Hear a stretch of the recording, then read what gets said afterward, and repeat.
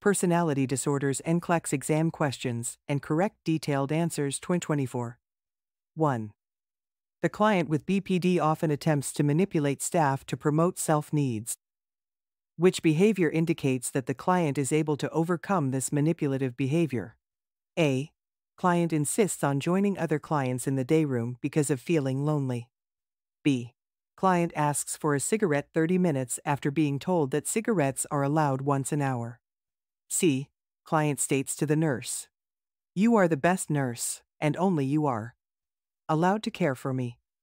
D. Client self mutilates by cutting after the HCP discussed possible. Discharge with the client. Correct answer A. Client insists on joining other clients in the day room because of feeling lonely. 2. The client with BPD states to the nurse, Hey, you know what? You are my favorite nurse. That night nurse sure doesn't understand me the way you do. Which response by the nurse is most therapeutic? A. Hang in there. I won't enjoy coming to work as much after you are discharged. B. I'm glad you're comfortable with me. Which night nurse doesn't understand you? C. I like you. Tomorrow you'll be discharged. I'm glad you will be able to return home. D. You are my favorite patient. I'll really miss caring for you when you are discharged. Correct answer C. I like you. Tomorrow you'll be discharged. I'm glad you will be able to return home. 3.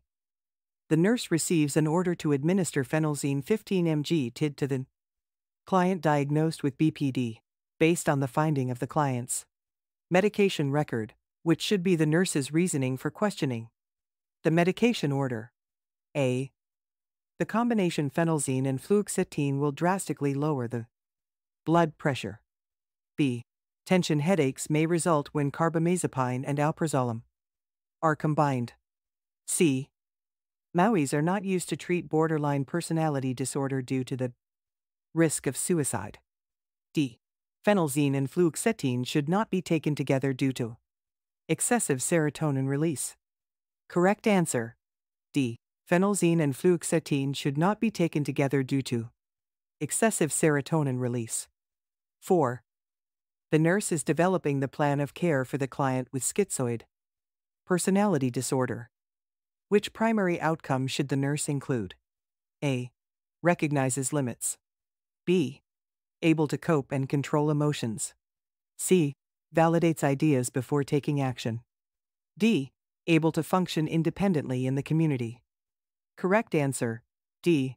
Able to function independently in the community.